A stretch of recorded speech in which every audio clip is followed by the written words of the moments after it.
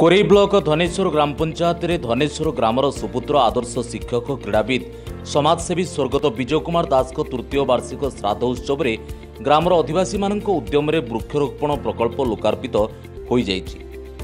विजय उपवमको स्वर्ग विजय कुम दासको धर्मपत्नी विद्युतलता दास लोकाण गरिक्त प्रकल्पट दुई हजार उन्नाइस मसिह जुलै सात तारिखले श्री देवेन्द्र पाणिग्राही नतृत्वले ग्राम र पिला द्वारा आरम्भ ଏଠାରେ ଲିମ୍ବ ଶିଶୁ ବର ଅସ୍ୱସ୍ଥ ଆକାଶିଆ ଆଦି ଶହେ ପଚାଶଟି ବୃକ୍ଷ ରୋପଣ କରାଯାଇଥିଲା ଯାହାଦ୍ୱାରା ଟାଙ୍ଗରା ଭୂମିଟି ଗୋଟିଏ ସବୁଜ ଉପବନରେ ପରିଣତ ହୋଇଛି ପରେ ପରେ ଦେବେନ୍ଦ୍ର ପାଣିଗ୍ରାହୀଙ୍କ ସଭାପତିରେ ଏକ ସ୍ମୃତିଚାରଣ ସଭା ଅନୁଷ୍ଠିତ ହୋଇଥିଲା ଉକ୍ତ ଉତ୍ସବରେ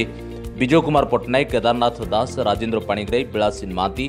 ସାରସ ଦାସ ବୁଲେନ୍ଦ୍ର ମହାନ୍ତି ତଥା ଅନେକ ଗ୍ରାମବାସୀ ଯୋଗ ଦେଇଥିଲେ କୋରିରୁ ଭୁବନମୋହନ ମହାନ୍ତିଙ୍କ ରିପୋର୍ଟ ଯାଜପୁର ନ୍ୟୁଜ୍